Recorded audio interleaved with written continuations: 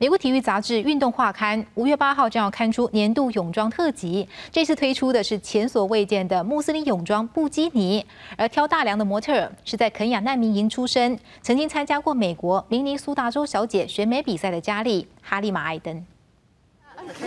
Mama Mos. No, Momas. Masmo. There you go. We're gonna be working together for like three days, what, four days? So you kind of need to know people's names, no?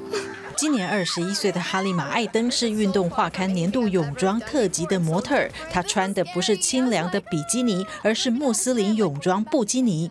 I was born in Kakuma, which is a refugee camp here in Kenya. That's where I spent the first seven years of my life. I can't believe I'm here.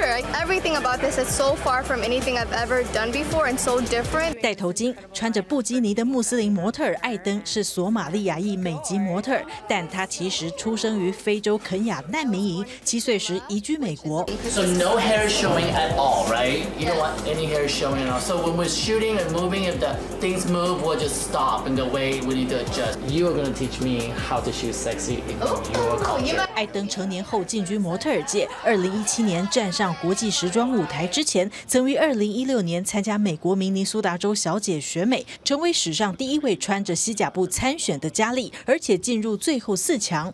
What is it going to look like? Am I going to get backlash after this? But that's always been my messaging. Don't be afraid to be the first.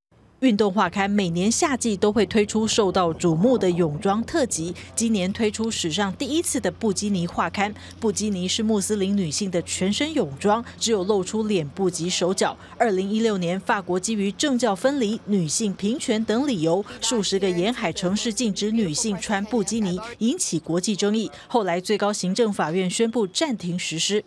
记者黄韵玲报道。